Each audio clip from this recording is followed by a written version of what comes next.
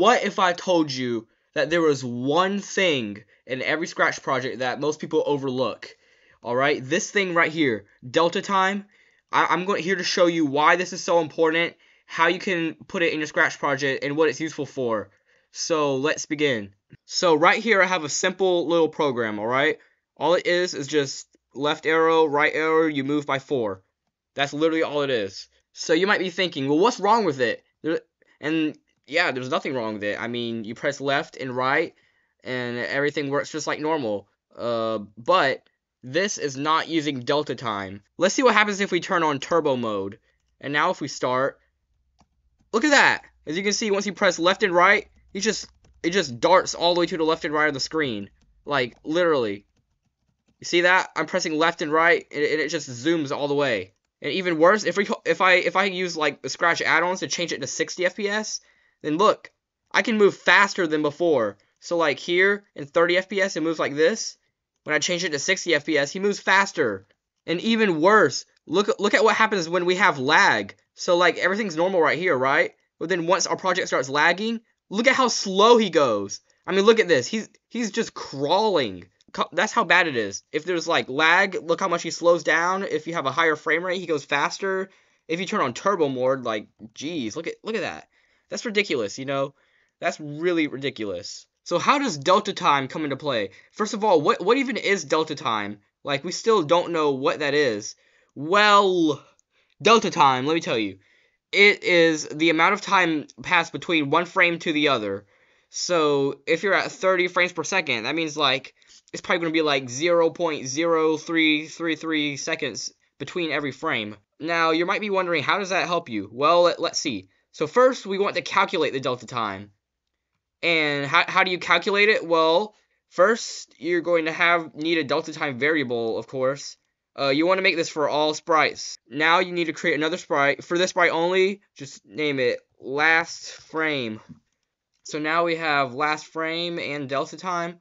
We don't need to see what the last frame is. So, in order to do this, we need to find something that goes that goes up every frame. And this is the timer. We're going to use the timer to calculate the delta time.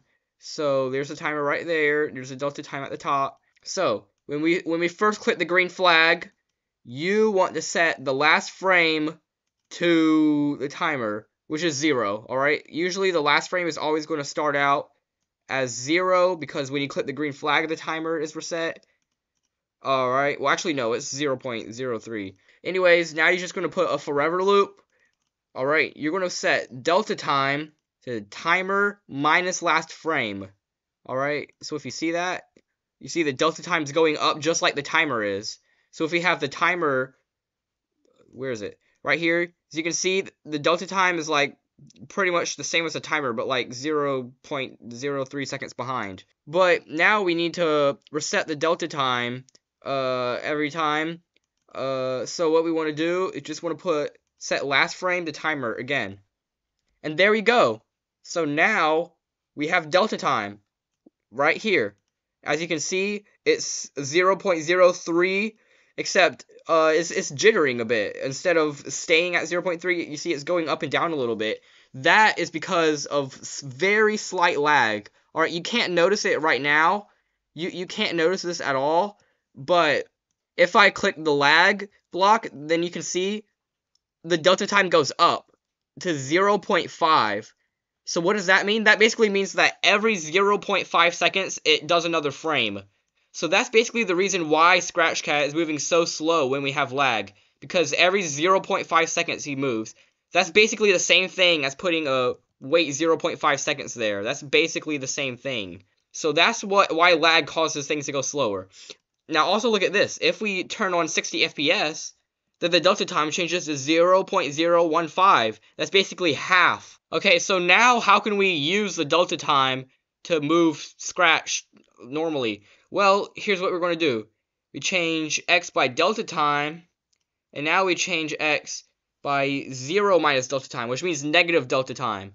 So now, if we use the left and right arrows, then Scratch Cat moves, but look, look how slow he's moving. This is very, very slow. And that's because delta time is like 0, 0.0, so he's moving by 0.03, that's super small. So we want to multiply 4 by delta time.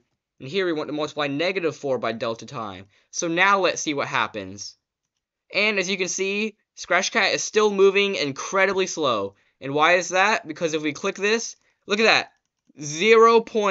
0.128001. See, look, he's literally moving by so little. Like, so what are we going to do? How, how can we calculate it? Well, let's set it to a high number. If we set it to a high number, let's see what happens. And now, as you can see, we can move Scratch Cat like normal, but if we turn on turbo mode, then Scratch is still moving the same amount as if turbo mode wasn't even on. Alright? But, you, I know what you're thinking right now. We were moving Scratch by 4 pixels, so what what even is 200 times delta time? Like what even is that? We want it we still want him to move by 4 just like he was before. Well, uh the way to calculate that is actually really simple. So, we wanted him to move by 4, right? So you just want to take 4 and now you want to multiply it by the target frames per second, which is 30. So 4 times 30, what is that? 120. So if you just put 120 here, 120 and then negative 100 stop negative 120 now look now scratch is moving exactly how he was before before we even put in the delta time. But now if we turn in 60 fps and look he still moves the same amount. He still moves just as fast as before. We can even turn on turbo mode. He still moves as fast as before. And even better look at what happens when we lag now now that we have so much lag Look, Scratch Cat is still moving the same amount as if it wasn't lagging at all. That is how that is how good this is. Like he is still moving just like normal. And now here's to further prove my point to you. So at the bottom, we have a Scratch Cat without delta time, and he is just moving by 4. And at the top, we have the cat that is using delta time. So let's see the difference. When you use the arrow keys, uh, of course, they're both slightly off. The one at the bottom is slightly off. As you can see, they're moving the same speed, though. Now, let's see what happens when we turn on 60 FPS. As you can see, the one on the bottom is moving twice as fast. It's literally moving twice as faster. Alright, if we turn on turbo mode, the, the one on the bottom just, I mean, seriously, what, what the heck? And now if we turn on lag, as you can see, the one on the bottom is just barely moving. The one on the top is moving like normal. So now that we got this, now I want to show you when to not use delta time. Because there are some cases where you don't want to use it. Alright, and I'm here to show you that. So, a, ba a, basic rule is that is that you want to use delta time whenever using a change by. So you see how this says change x by? That's when you want to use delta time. Alright?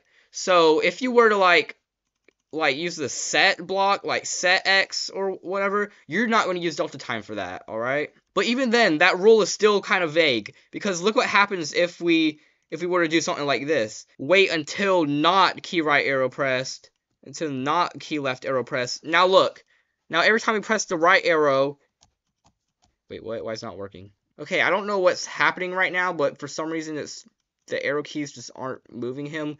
But anyways, my point was that if you were to do something like this, where you wanted to to like once they click it once and then it moves, uh, you would just want to use change x by 4 without delta time.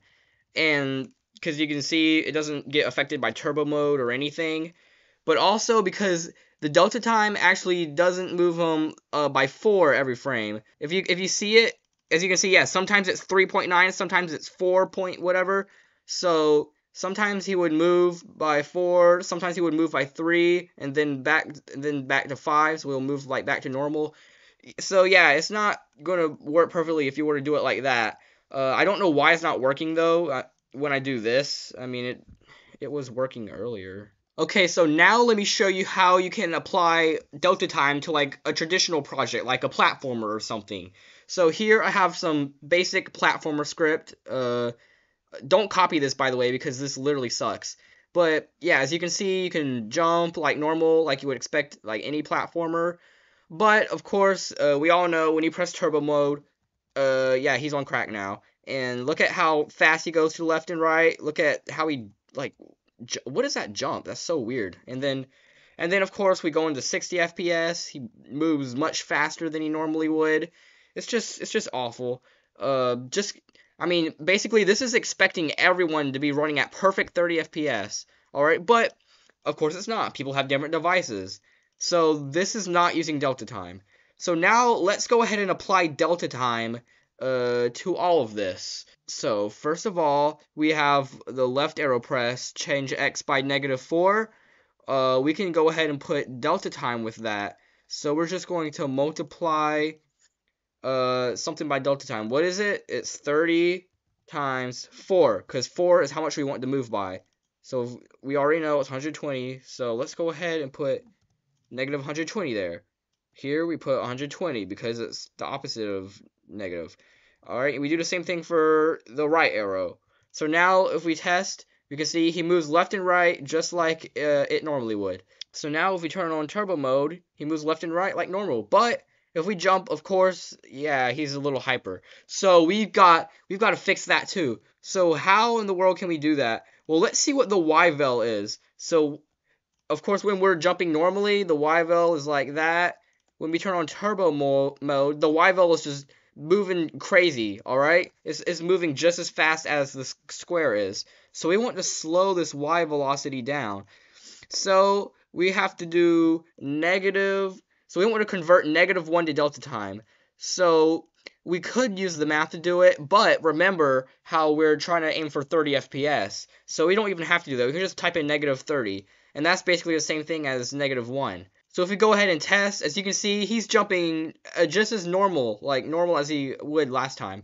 But now we turn on turbo mode, and let's see.